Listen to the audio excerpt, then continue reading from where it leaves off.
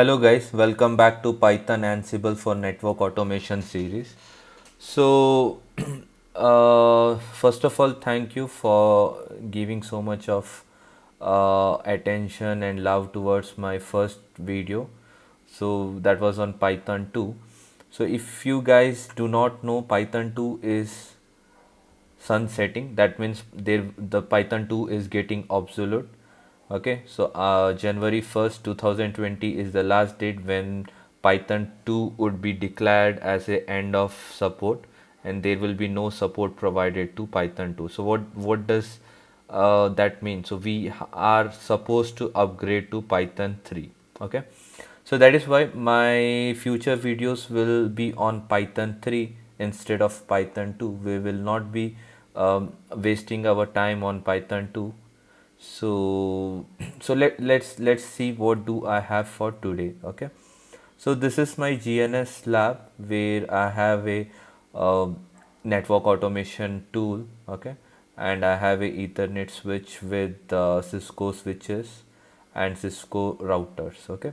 So my uh, task for this uh, this lab is to create 10 loopbacks on routers and switches, create some OSPF process and also create BGP process. Okay.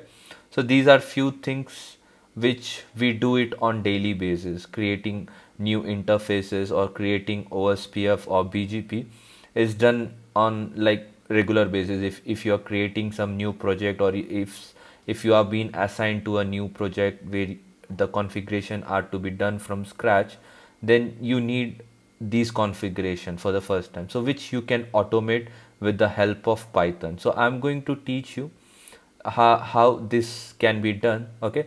And one more interesting fact here is uh, if you see the ip address on each of the devices uh, they are not in sequence okay? And this is for purposefully i have taken such scenario. So if if you see the ip address so it's 172.16.221.145. The second instance has IP address of .46 and if you see the rest then you have .148, .150, .155. So I'm going to teach you how uh, uh, uh like how how to achieve uh, a single script or a single script for this kind of requirement okay?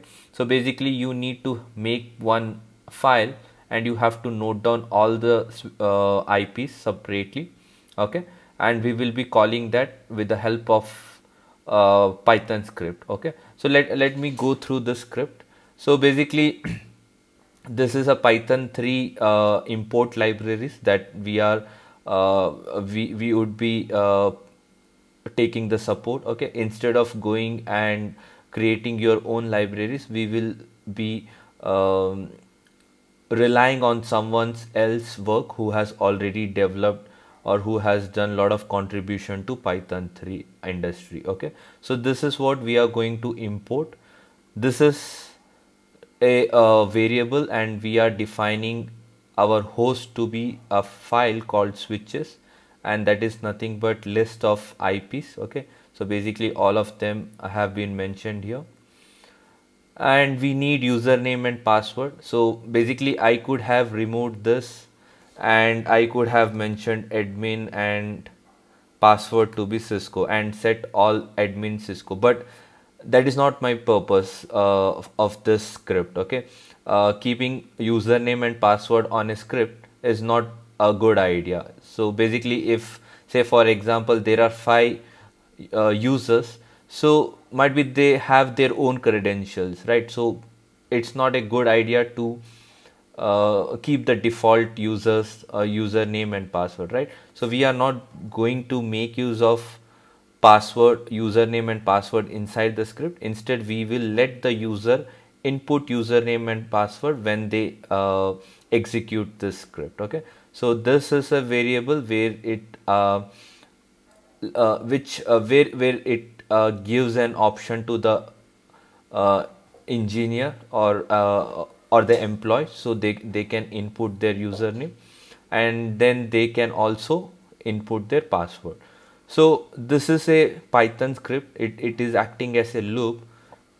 So basically we have five switches right so we will configure one by one. Say for example first my configuration will be carried uh, on this then it will be taken to the second one then third fourth and fifth. So we need something which can do the job. So it's basically kind of loop okay?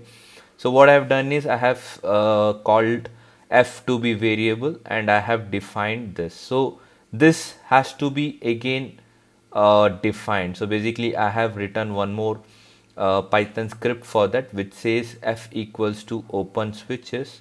Okay so basically that is nothing but these ips and then we are saying that ip in f and print ip so basically we need this so that we can run the run our required configuration one by one. Okay so basically it is acting as a loop.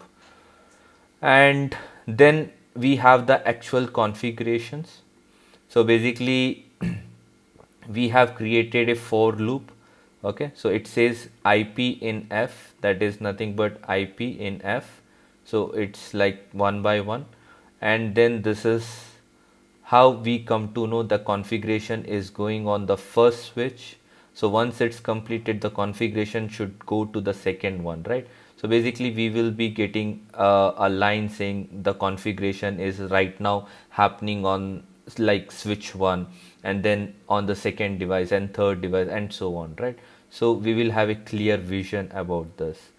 This is a telnet library okay? This is where you will input your username and the username will be uh, uh, will be uh, authenticated and then you have password okay? So after credential after you have a successful credential granted you will take the configuration t of a device. You have a for loop written for your loopbacks so basically i have said configure loopback 1 to loopback 15 okay? So basically i can make it 1 to 10 or i can make it 1 to 5 so whatever it is. So i i just uh, i'm just going with 15 loopbacks so it, it will first go with interface loopback command and then it will create IP address uh, to each one of them. And then we have the OSPF commands and then we have BGP command. And after configuration individually on each device the output will be shown as there and uh, they, they, there on the python script itself okay? So basically it will be useful for us to validate uh, there and then okay we don't have to log into devices uh, and then validate. So basically if there is any error we will get the error on python uh, console itself okay? And these are the basic configuration that i have done on these devices. So basically i have enabled telnet and nothing much okay? I just gave IP address on the VLAN one, uh, enabled VTY, and then telnet. So that is what's there. There's something simple which everyone knows. Okay, so th this is the complete Python script. So I was talking about switches and I was talking about Python loop. So let me execute this Python loop and let's check if it's working as expected. Okay so let me go to the path where I have this stored and let me say python 3 python loop. And if you see this we have all IPs one by one one below one okay? So that is what will happen when when I execute the main script configuration will hit on the first IP all the steps will be carried out then it will go back to second and then it will finish for second then it will go for third and fourth and fifth so on okay? So let's execute the main script okay? So it's a python 3 script and uh, the script name is loopback within loop working okay? So let me execute this and if I enter then yes as I told you it will ask me for username and password okay which which is what I wanted. So username and password is admin and Cisco. That is what I have configured here. Okay? And if you see the output here okay? So we we are right now configuring this on the first switch. That is what I told you. We need to understand where the configuration is running. Okay so the configuration okay the configuration has successful on dot 145 dot 146 now it's going on dot 148 okay. So one dot 148 is done. Now it's running on dot 150 so that is why this line helps us to understand the configuration is uh, right now happening on this switch okay and that's all. So the job is done okay? So we have configured multiple loopbacks OSPF configuration and BGP on all the five devices okay? And this is the output that I was talking about that that is being generated because of this command okay? Now if you want to double check you can go to these actual devices. You can uh, you can make use of show IP int brief command. So you have all the loopbacks here along with the IPs that we have coded okay? We also have OSPF here. We also have BGP here okay? So it, it just took us like two to three minutes to configure on five devices right? Say for example you have hundred of devices then again it, it, it is uh, like five minute of job. So that was all about today's uh, video okay? So do comment and do let me know if you have some requirement and that you would like to have a script designed for. So i'll i'll just see if i can help you there okay? And also comment if there is something which i could have improvised in this particular case okay? So basically it is all good and well which i thought uh, should be say for example loopback is on uh, for loop. So basically you can create any number of loopback okay? And no one goes with multiple OSPF process. So there is no point running on loop uh, BGP and BGP is a single instance running on one device. So if you if you are a networking guy so you should be knowing uh, the basics right?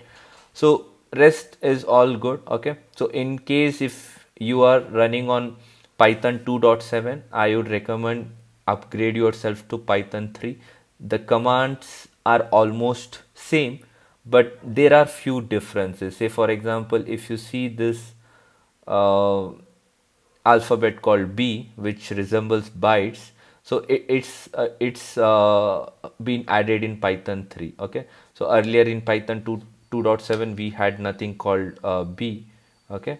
So this is something which we will cover up in the real classes okay? I cannot cover each and everything in this these short videos. So basically if you join my real classes uh, online then i can i can guide through each and everything. So guys that's all for today and i hope you guys enjoyed this and the script is available uh, you can download it for free okay? So i'll leave that a link on, in the description box below okay? Have a nice day. See you in the next uh, video with an interesting concept once again okay? So have a nice day and take care. Bye